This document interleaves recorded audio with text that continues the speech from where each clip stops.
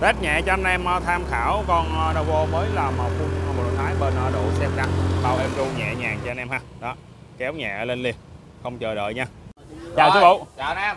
giới thiệu với anh em ờ, có Huỳnh làm cái nồi chiếc Novo 135 RC nha.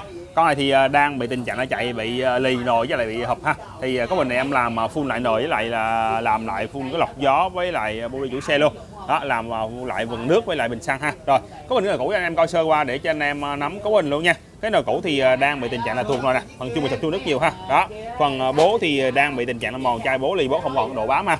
Phần bộ bi bi thì đang gì đang là mòn mất, không còn độ tròn ha. Kẹp trượt thì mòn há miệng nè. Đó, và cặp nhôm nồi của chủ xe thì nó đang bị tình trạng nó mòn lỏng xuống là không còn độ phẳng ha. Rồi, có mình em chuyển sang là xài của mình cái nồi thái cho anh em. Chạy cho nhẹ xe bền nha. Con bom đi full nồi thái luôn. Đó à, gồm có đầy đủ không? gồm phần nồi trước nồi sau đi full ha. Nồi trước sẽ gồm có cặp nhôm nồi dinh thái này, trắng đẹp không mới ha phải sẽ nguyên nha. Đi kèm lại chủ xe combo full là bộ bi bando nhật nha. Rất bền ha bando nhật của xe. Kẹp trượt nồi dinh thái nè ba trượt nồi mới ha. Đó.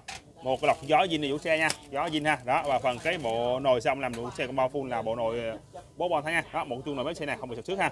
Đi kèm là chủ xe combo full là bố carbon dài nè. Một hai ba đó mới cho xe luôn đó. Anh em ờ, Novo mà muốn ờ, làm combo bộ nồi thái ha canh chỉnh thì ghé bên độ xe Việt Nam. Bên em là chuyên làm nồi Novo nha. Rồi chào sư phụ. Rồi chào anh em. rồi chào anh em Novo 55 review cho anh em à, tham khảo có bình à, ráp combo cái à, bộ nồi thái chiếc à, Novo nha. Sư phụ đã hành à, ráp cái bộ bi bando cho phần cái bộ chén bi nha. Ha đó combo đi có bình là đi zin à, 6 bi nha. Đó. Anh em lưỡi lắp chiều đít nằm dưới nha. Còn cái chiều ngọn nằm trên đánh lên khỏi mòn bi của anh em ha. Rồi tiến hành cho phần à, 6 bi vô phần chén bi. Combo 6 bi ha. Đó. Anh em đáp đúng chiều cái chiều đít nằm dưới nha. Rồi tiến hành cho phần cái bộ à, kẹp trượt vô phần tấm bên nồi. Rồi tiến hành cho phần cái à, tấm bên nồi vô phần cái chén bi nha rồi tiến hành này cho phần chén bi vô, tới phần cái bộ cánh mặt nồi nha ha. Rồi à, tiến hành này cho phần cái gói mặt nồi vô ha, tới phần cái à, lòng đình đạp, lòng đình mỏng tán nồi. Và tiến hành cho phần cái à, bộ nồi sau vô. Bộ nồi sau gồm có phần nguyên bộ, cùng bố bá càng thái với lại cái chuông ha. Rồi, tới phần cái tán nồi sau nha. Tiến hành là bắn cái tán nồi sau và tiến hành ốp nồi và test cho anh em. Đi full có mình cái bộ nồi thái chiếc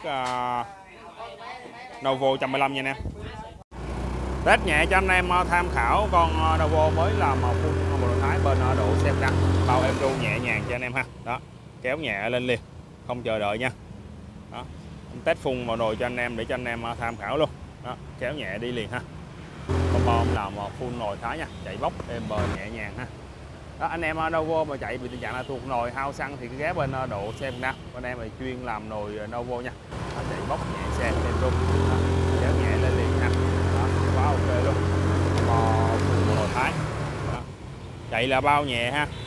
À, dòng Novo thì nó hay bị hao xăng ha. Thì anh em à, ờ, có qua bên em. Em đi làm lại phần cái à, bộ nồi rồi xanh con à, kiểm tra lọc gió body cho anh em luôn. Chạy nhẹ xe bền bóc ha. Đó. Tha hồ cho anh em chạy đi chơi đi tour phượt nha. Làm xong mình sẽ test thử thực tế để cho anh em à, cảm nhận bộ nồi thái dòng Novo luôn. Đi rất bóc nhẹ xe nha. Rồi em cảm ơn anh em Novo 115 rất nhiều ha.